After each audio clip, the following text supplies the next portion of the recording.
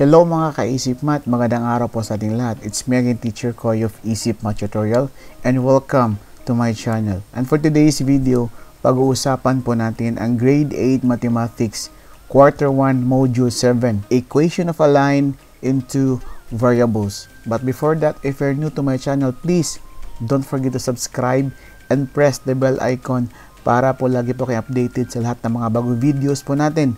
At huwag niyo pong kalimutan ay follow tayo sa ating Facebook page Isip Math Tutorial at mag-join ating Facebook group DepEd Teachers Files. And for today's video, as what I've said, ang ating topic ay equation of a line in two variables.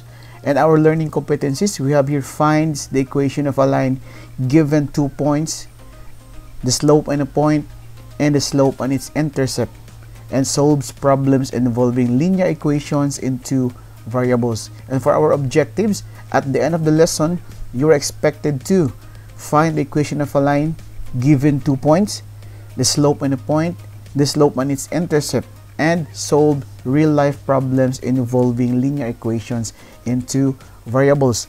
And for our lesson 1, find the equation of a line. So there are three methods on how to find the equation of a line. First, using two points. And the second one is slope and a point. And the third one is slope and its intercept. So for our first method, we have here two-point form. So as we all know, that the equation of a line or the linear equation in two variables is an equation of a line, right? So two-point form is one way of finding the equation of a line. So we're going to use this formula. y minus y sub 1 is equal to y sub 2 minus y sub 1 over x sub 2 minus x sub 1 times the quantity x minus x sub 1 where x sub 1 and y sub 1 and x sub 2 and y sub 2 are the coordinates of point 1 and point 2 respectively. In finding the equation of the line given two points, assign which is the first point having coordinates of x sub 1, y sub 1, and the second point with coordinates of x sub 2 and y sub 2. Then substitute the coordinates to the formula.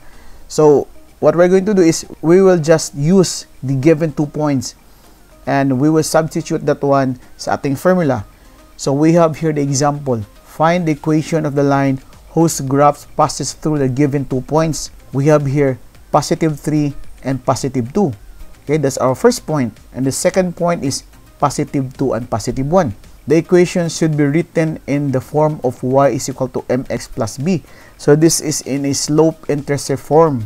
Okay, y is equal to mx plus b. Di ba, no nakarang lesson po natin, di ba, meron pong dalawang form ng linear equation, di ba? We have the standard form and the slope-intercept form. So the standard form is ax plus by is equal to c.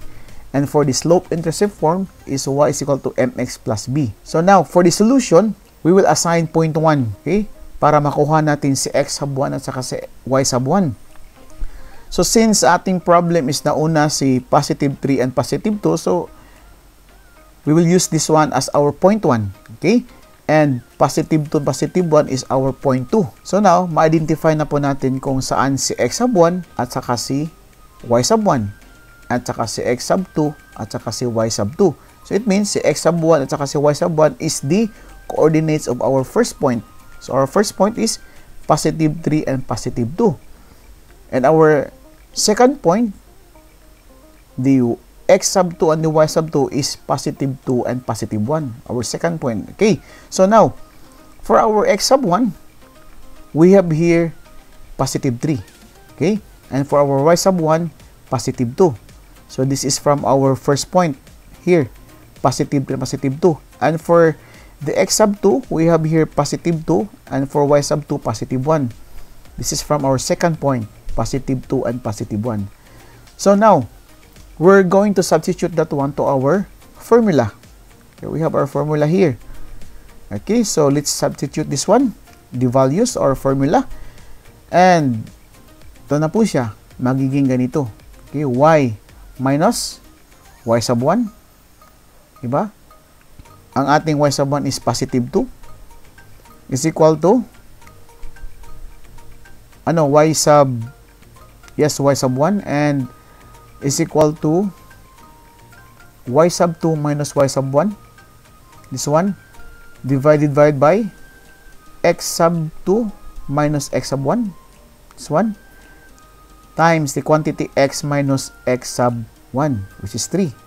And then, simplify. Okay, y minus 2 is equal to negative 1, and this is divided by the, okay, divided by, by negative 1. Okay, times the quantity x minus 3. Then the result, simplify again. We have here y minus 2 is equal to 1 times the quantity x minus 3. Distribute natin sa 1 dito sa loob. The result is this one. And also here at the left side, ginamit natin yung distributive property. Diba? Then, we will um, use the property of equality. We will add both sides by negative 2, ano, positive 2, para matanggal si negative 2 dito, maiwan si y. So, the result, magiging ganito. y is equal to x minus 3 plus 2. Okay? Since i-rewrite natin into slope-intercept form, dapat si y yung nasa left side, the rest andun sa right side. So, simplify. y is equal to x minus 1. Saan galing si minus 1? Dito, from here. Negative or minus 3 plus 2. Negative 3 plus positive 2. So, our answer is y is equal to x minus 1. So, this is now in the slope-intercept form. y is equal to mx plus b. Our m is positive 1. Automatic po yan kasi meron tayong uh, numerical coefficient na 1 dito sa x. Then, ang ating b or the y-intercept is negative 1. So, that's the first method. And for our second method is we have here the slope and one point.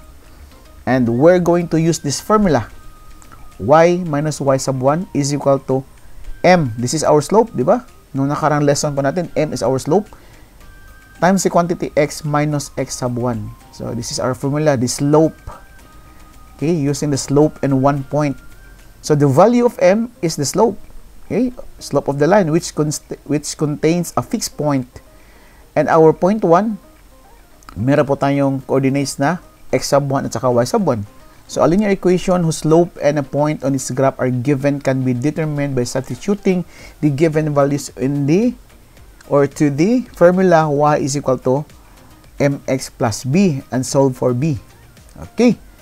So, we have here example. Find the equation of the line given slope of 5 and passes through the given point positive 3 and negative 2. Write the equation in the form of y is equal to mx plus b. So what we're going to do is since alam naman po natin na kung an, kung uh, ano yung value ng x sub 1 at sa y sub 1 since isa lang po yung point natin so our x sub 1 is positive 3 ang ating y sub 1 is negative 2. And then for our solution, we will let y is equal to mx plus b be the required equation. Di ba? Since um, dapat in a slope intercept form po yung kalabasan niya. So the given point is positive 3 and negative 2. So the value of y is negative 2 and x is positive 3 and our slope is 5. Di ba? Given po yan sa ating problem. Thus, using the y is equal to mx plus b form substitute the values to solve b. Okay? So, ito na po siya. y. Substitute natin sa y is equal to mx plus b. Ang ating y is negative 2. Di ba? From our point is equal to 5. Yung slope po natin, di ba? Slope 5 times our x, di ba? mx, x is 3 plus b. So, masolve po natin si b. Okay, so, using the substitution method, and then simplify. Magiging negative 2 is equal to 15 plus b. Then simplify further. We're going to use the property of equality. We will add both sides by negative 15 pala, para malipat si, si 15 sa kabilang side. All constant andun sa kabilang side. Tapos sa kabila, yung ating variable b. So, simplify, magiging negative 2 minus 15 is equal to b. Then, negative 2 minus 15, that is, result is negative 17 is equal to b. Or simply as b is equal to negative 17. So, therefore, the required linear equation is y is equal to 5x minus 17. Saan galing si 5? This is our slope. Di ba? And si 17 is our y-intercept. Okay, I hope nakuha niyo po yung ibig natin sabihin. So, in a form of y is equal to mx plus b.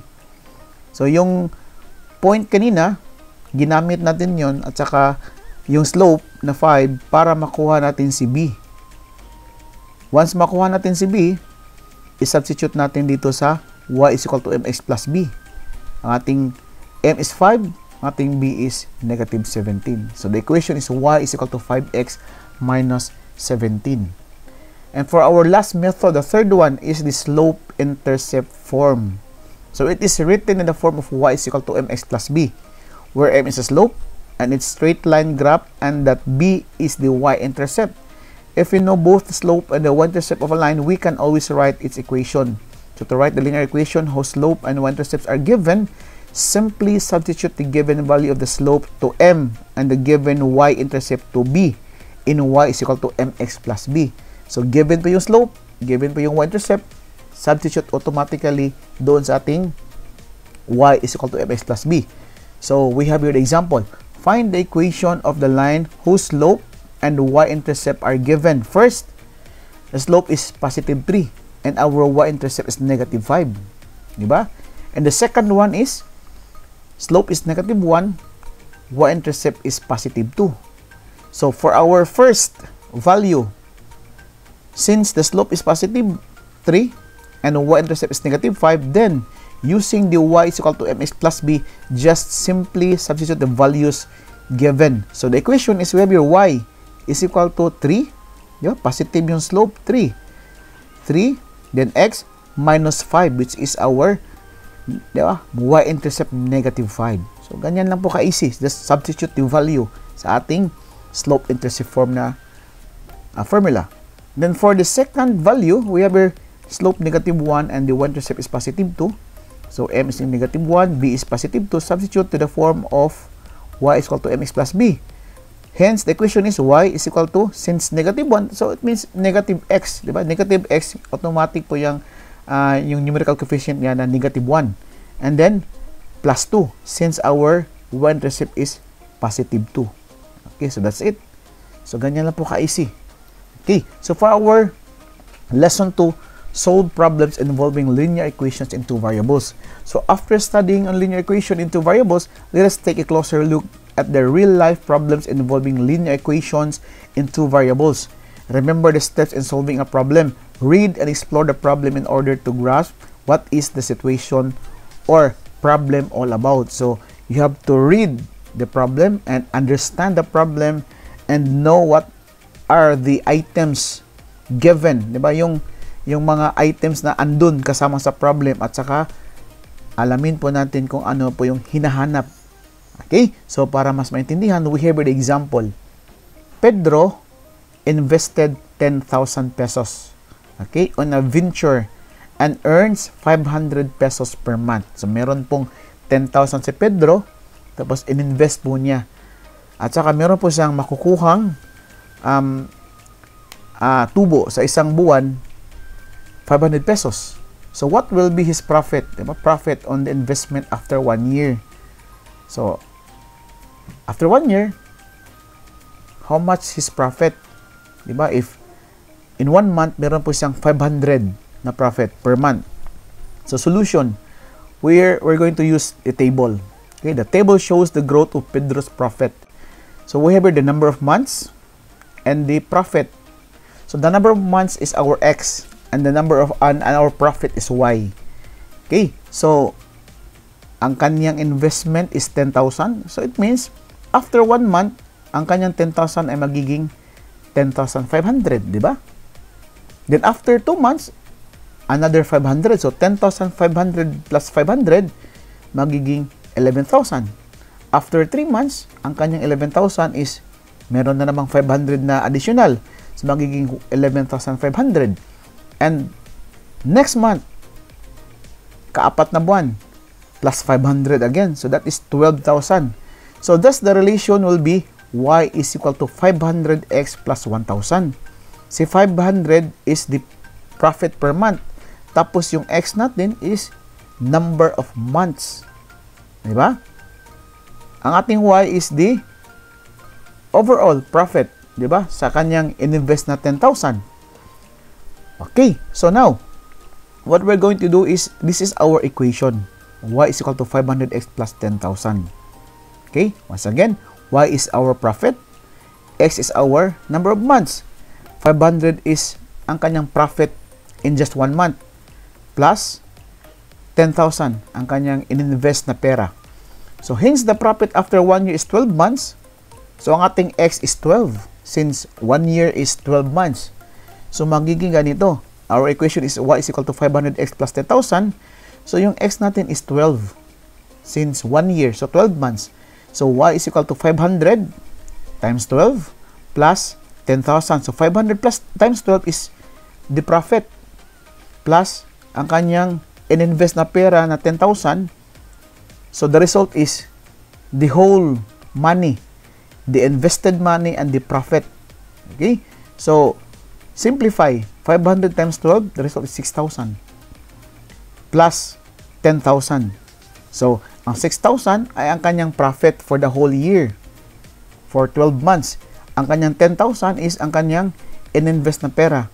So the result is the profit and the invested money. So, Y is equal to 10,000 plus 6,000, that is 16,000. So, 10,000 yung invested money, tapos yung 6,000 is the profit for the whole year because 500 pesos per month po yung profit niya. Okay? So, I hope nag-gets na po yung ibig natin sabihin. Okay, so that's it for our Module 7 and thanks for watching. See you in my next video.